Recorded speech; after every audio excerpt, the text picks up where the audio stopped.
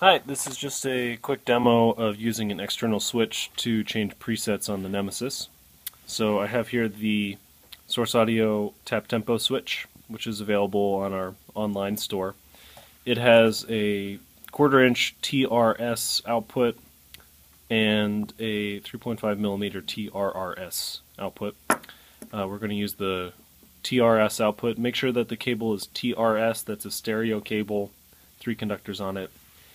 Uh, and that goes in to the uh, pedal in on the Nemesis, and you want to make sure that this switch uh, selector here is set to switch uh, the switch position, not the EXP position.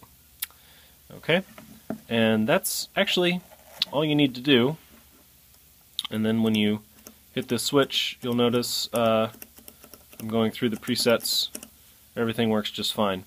Uh, the cool thing about this approach is that it'll work, um, well it's a little bit hard to see there, I have del uh, delay trails mode active, so when the delay is enabled it's bright green and when it's um, disabled it's dim green, right? I can actually just turn that off by pressing the control button and hitting this foot switch.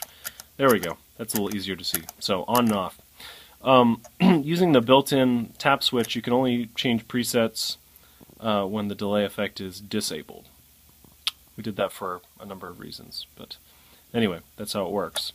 Um, but yeah, the cool thing about using the external switch to do this is that you can change presets when the effect is enabled, uh, or also when it's disabled. No problem. So, hope that helps. Thanks very much.